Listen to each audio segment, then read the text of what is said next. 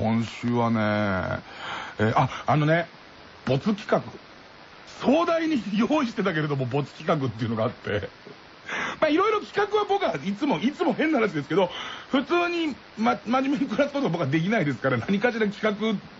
企画、企画って言ってるんですけど、面白い面白いって思ってる方なんですけど、でまあ大体ボツになったりとか、まあまた、30になって随分超絶ついてくるようになったんですけれども、呆れられるような企画とかいっぱい出てくるわけですよ。結構ほら、あの、関セコのことでちょっとステロイドとか筋肉増強剤がすごい問題になったから、あの、ヒットマンのコーナーにバンバン打って、どれぐらい効き目があんのかってでいて、どれぐらい体に、あ効き目、飛距離がどれぐらい伸びて、どれぐらい、あの、体に、あの、悪い影響があるのかみたいなやつを、あの、順を追っていこうみたいな話してて、でいて、ちょっと漫才のツッコミのパワーがどれぐらい増えてるみたいなギャグも入れてっていうやつを、テレ東のスポーツニュースに売り込んだら、倫理的に絶対無理だと。あ、そっか、また俺ちょっともっと戻り始めてるぞみたいなのもあったんですけど、その中で、この番組でややいけそうな企画で、正月だったか遡ること。正月に、えっと、えー、っと、田代32か、桐畑徹若手のお笑いに、GPS 付きの携帯を持たせて、あの、延々とそのいる場所を監視して、監視して、で、さらに、仕込みは長かったんだけど、その一番最初、渡辺、構成の渡辺の方から田代と、まあ、桐畑、これどっちを候補しようか迷ってたから、わざわざ新規の GPS 携帯を2台買って、ほんで、えー、っと、伊集院さんをだが浮気をしてるって言ったんだけど、最初、浮気をしてるって、あの、伊集院さんを、に浮気心を出させるっていう企画をやるから、あの、女の電話番号だって言って、この携帯の電話番号を教えて、メールとかを多分打ってくると思うって。でいて、自分が持ってると、バレちゃうから、持ってて、みたいな話をして、ずっと持たせてて、ほんで、しかも、ちょくちょく、公然の渡辺がちょっと携帯見せてくださいっていうか、いつも持っててくれ。今ちょっとあの、伊集院さんが動きあったみたいなんで、すいませんが、どっかで落ち合って携帯、あの、あの携帯見せてくださいみたいなことを言うから、いつでも充電して、いつでも持っててくれっていう話をして、まずその、所在をつかもう。いつもどっか所在、所在をつかもう。で、さらには、俺がその二人と会ってる時に、テレビの力あんねんか。俺テレビの力ずっとブームなんで、いろんな意味でブームなんで、テレビの力のあの、サイキック何？超能力捜査官？あいつらのこう、投資能力みたいのを、やってるビデオを毎週全部撮ってて俺は、それをその、若手が来てる時に一緒に見ながら、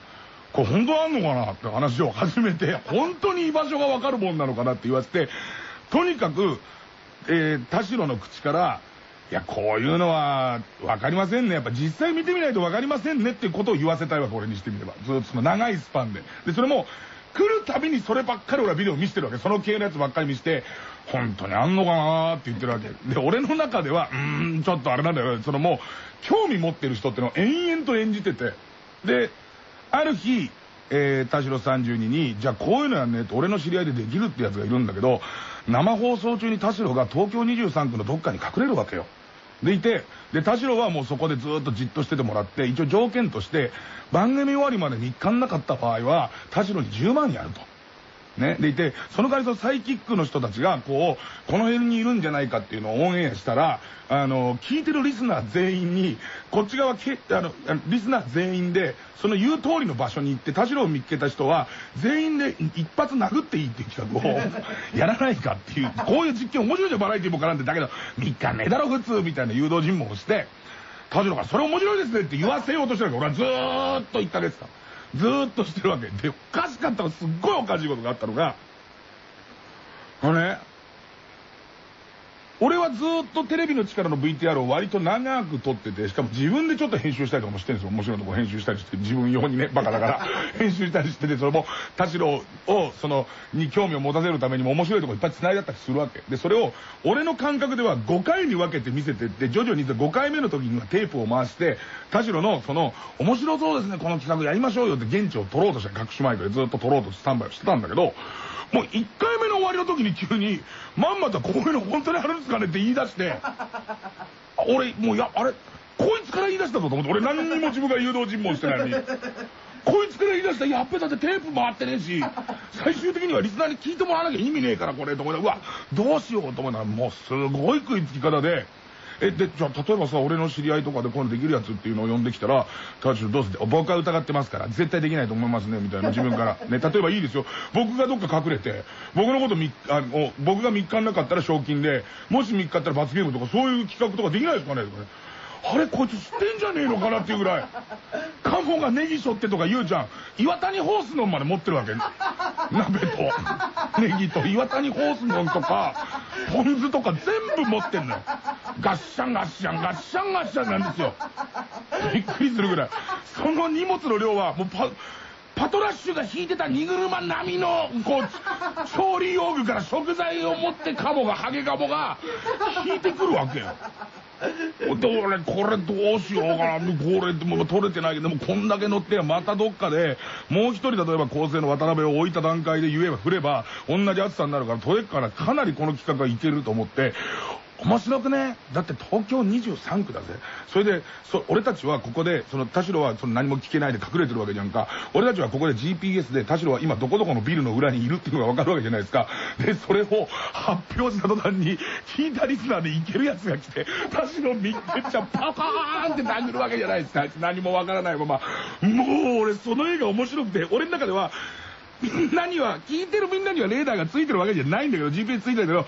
東京上空の絵の一点に田代っていうマークがあるところに周りからグーのマークが寄ってくる感じです俺の中で。その生放送中に。昔向こうもややたらめたらにさパンチが飛んでくる感じの絵が想像できたけども楽しくてしょうがないんだけれどもあのー、最終的に、まあ、プロデューサーとかに判断もしてもらわなきゃいけないしこれできるかって話になった時にやっぱ何発殴られるか分かんねえのはやばいと思う。とりあえずものの分かったやつを発見して殴るとかはいいけどそれはやばいんじゃねえかみたいな話になってきてほんで、さらにはその、堀江社長が呼べんじゃねえかと、そこのやろうと思ってたスペシャルウィークの時に、それもいいけど、それはいつでもできるけど、堀江社長が呼べるんじゃねえかっていう話とか、その、ラジオで特定の場所を深夜にこう言って、みんな行こうぜって言った時に、どの規模の反応があるのかわからない場合に責任が持てないみたいなことで、そこまで大仕掛けでずーっとやってた企画はなくなったんですけど、一回教えましょうか、一回教えましょうか。本当もそのなんつうのかな、あの田代が自分から「こんなの本当ですかね?」で俺見なきゃ信じないですよって言い出した時の俺の俺の家のまさに一回正月だってあれ正月の割と1日2日ぐらいの時にあの携帯渡してセット始めて正月開けるか開けないかぐらいだと思うんだよねその時に俺の家の部屋でそれ言い出したもんだから俺がその絵を説明すると、例えばもうみんなに分かりやすい映画にとって説明すると、まあ、えっ、ー、と、向かい合ってあぐらをかいて、こう、何その、ハの字型になってテレビを見てる俺ね。で、田代が喋り出すっていて、延々と田代がこう、こうやったら、こういう企画やったら面白いんじゃないですかって、まさに俺がやりたいと思ってるような企画を言い出す田代ですまあ、漠然とですけど、まさかほら、あの、この番組を何人聞いてるか知んないけど、まあ、東京の近郊に住んでる1000人単位のやつがお前を殴りに来る企画だと思ってないだろうけれども、多少の罰ゲームを含んだ企画があるっていうことを言い出してるのカメラを引いていくと、俺の家の横にあるアロマテラピー用のろうそくの炎に、蝶がバーって突っ込んでボワーって燃えてる 飛んで火にいる夏の虫のをサブリミナルに入れる絵を絶対入れるなって思うね。俺だったら。矢切の私にボロい船が来るみたいな。あじゃなくてもう渡りに船で言うならば万ン本号クラスのやつが矢切の私来た感じのしてんなこいつってこっちが疑心暗鬼になっちゃってこの番組騙しの騙しがあるからこいつが渡辺からさらなるなんか仕掛けを言われててで、さりげなくそれに乗ったふりをしてくれって言われての焦って臭くやってんじゃねえかぐらいの、ドキドキでずっとなんだこれと思いながらもまあすごい進めてて。で、まあ、最終的にはまあ安全田代がくしゃくしゃになっちゃったらどうしようって。最終的にこれを実行した時に田代じゃなくて田代が例えば単コブができる単コブって面白いな言葉な。単コブがハゲの上に三段単コブができてるやつ。あの漫画で田舎っぺ大将でしか見たことない。三段単コブができたところで田代に「違うんだよ。お前さ GPS で追跡されてただけだから」って言われた時はちょっと面白いじゃないですか。でもそれが元田代だったボロボロのな何か何かプライスレスになった時にもう賠償金額がプライスレスになっちゃってるような状態だったら俺らもう面倒見きれないじゃんかそんなの。あの僕らが僕がもう日常生活でよくやる面白くしようと思ったんだよ。手錠はやめてくださいの感じになっちゃう可能性がすんごい高くなった時点で、この企画は結局なくなったんですよ。で、言って、もうムカつくのがなくなると携帯電話でとか全部俺かぶりになるんですよ、これ。あの、うまくいった場合に初めて通る。これで、審議してもらうと途中ですぐストップがかかるから、始めちゃうってうのがうちのやり方ですから、始めちゃってから、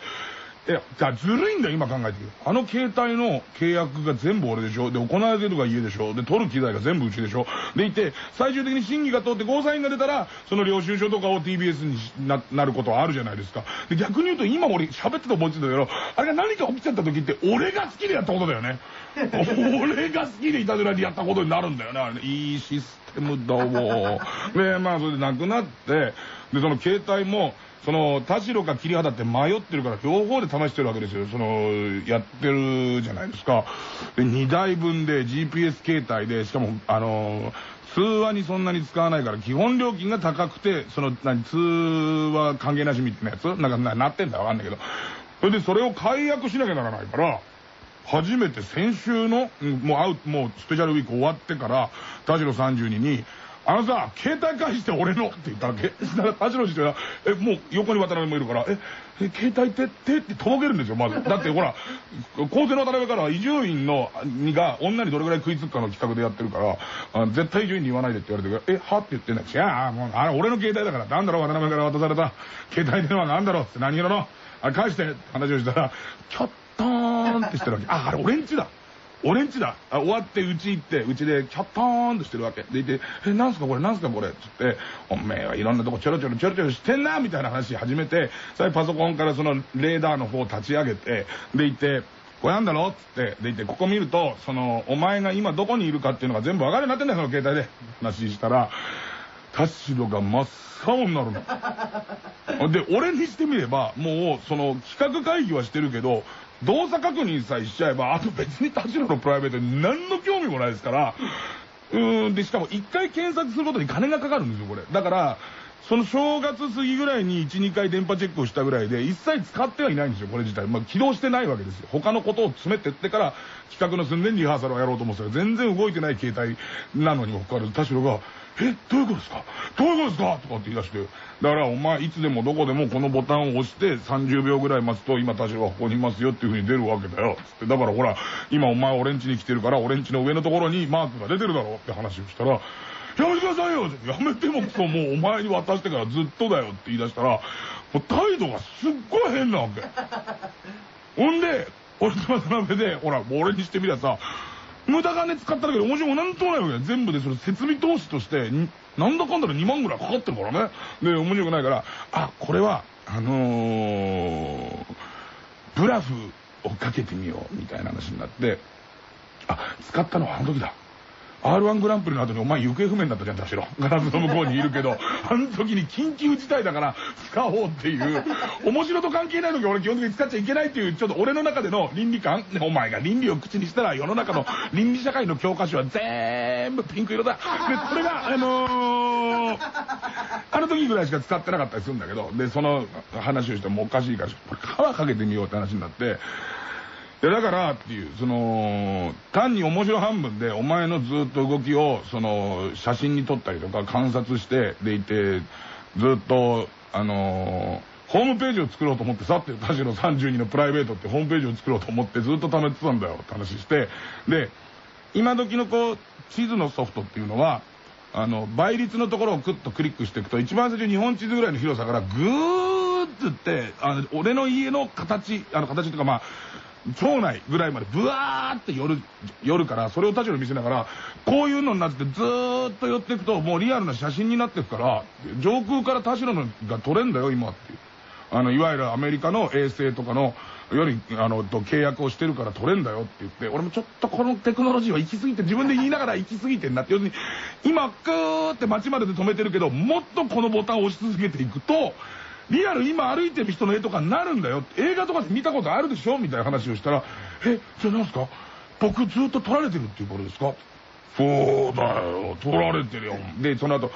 お前面白いことやってんなみたいな話してったら、どんどん真っ青になってって。で、今までのこう、で、どれぐらい写真撮ったかって言うと、つって、自分のそのパソコンの中に入ってる、今までこう、あの、この深夜のバカ力カードを作った時にすごい量写真を撮ってるからその写真のアイコンだけをこうやって見せるとものすごい量フォトって書いてあるアイコンができるんじゃない。まあこれあの一部だけどもお前のこの2ヶ月の写真ねって言ったらずらーっと画面にアイコンが並ぶじゃん。でその中で 俺は番号で分かってるから草野球に行った時に撮った写真があるわけ。で草野球に行った時の写真をこうやってクリックするとで草野球は一応ベースボールで BB って書いてあって映ってるメンバーの名前で田代だと32っていうのが入ってるし河野だと K っていうこう番号が入ってたけどこの中で T32 が入ってるやつを適当にクリックしてパンパンってやると田代が写ってる草野球の写真ができるわけ。出るわけよそこに。でなあ田代。撮れてんだよ。でもそれ横から撮ってんだよ。明らかにその草野球の写真は。だけど「へえ!」全部公開するから。つった後に「いやいやいやいや」つって「じゃあ分かった。じゃあ俺もせっかく撮った面白い企画だからこれもリスナーにみんな見せたいからお前がこれだけはやめてくださいって自己申告してくれれば3枚だけ写真は割愛します。だからお前の方からこういう写真があったら伊集院さんすいませんが割愛してくださいって言えよ。そしたらそれ3つは割愛するって話をしたら「ええどこ撮られてんだろう？どこ撮られてんだろう？あのー、えっとじゃあの写真ってありますかね？あの写真じゃダメだよ。テニステニススクール。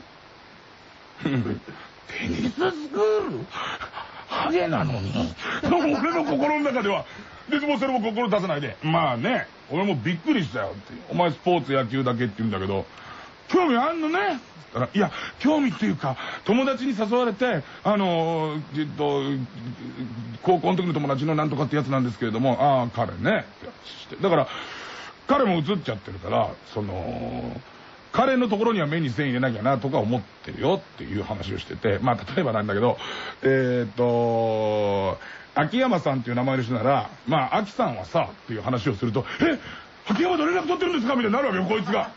まあ誰と誰と連絡取ってるかはわからないけど、まあそういうのはしてるしねって話をして、で、こっちの方から、男同士でテニスなのっていう話をこれぐらいのトーンで言うと、いや、確かに女いましたって言うんだよ、こいつが。で、俺はどっちとも言ってないじゃんか。ただそのトーンで言ってるだけだから、女いましたっていう。あ、そう。うーん。だけどさ、あれだよねって、僕はこうやってこういうものでキャッチをしてるけれども、キャッチさせてもらっててみんなでゲラゲラ笑ってきたけれども、そういう女の人とのその関係みたいなことを今まで俺たち聞いたことがない。普通だったら今こういう女の人とテニスやってて言うはずだけど言わねえなと思ってな、渡辺なんて言ったら、いや、でも、人妻とですからって言い出して、ええー、お前人妻とテニスしてんのこっちの。なんだそれ、人妻と人妻とっていう、こっち側そのリアクションをいつも取りたいけど、もうちょっと泳がせよう、もうちょっと泳がせようっていう。あのテニスだけで済まないよねっていう。で、その後、夜の？みたいになって、それはない、それは、それはないよ。それ取っちゃったら犯罪にちょっと近くなってくるじゃんね。てか、本当に取ってはもう犯罪じゃん。だけど、犯罪近くなっちゃうからっていう。ね。だからほら、あの、あるでしょ？俺に、こう、何からかれてるかわかるでしょ？あ、まあ、お風呂をよく借りに行くのは、あ のええ女の家に？風呂借りに行くの、お前。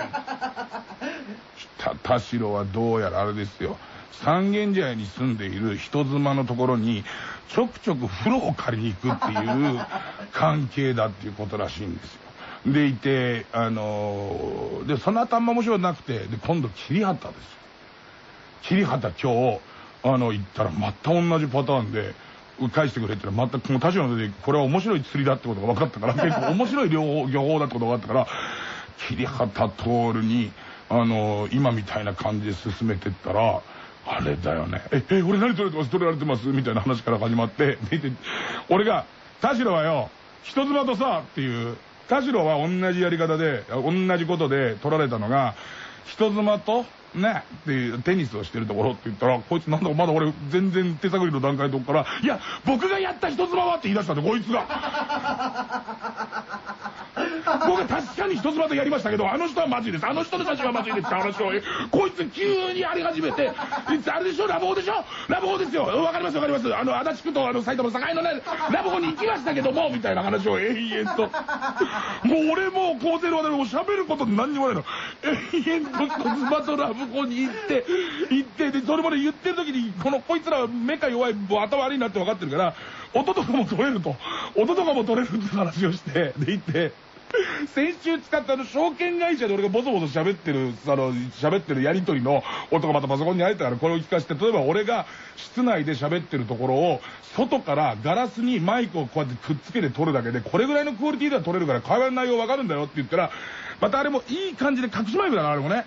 隠しマイクっても外からなんか撮れませんから、あの、カバンの中に入ってる隠しマイクだらいい感じで音悪いじゃないですか。でもかなり俺の近くに置いてあるもんで、これ外の壁からこんなの取れんですかっていう話をもう信じちゃってるから、僕ね、あれなんですよ。必ず最初にね、ダメ元でおっぱいを褒めるんですおっぱいを褒めるんですけどって言い出して知りたくねえよ。そんな話全然知りたくねえよ。バカ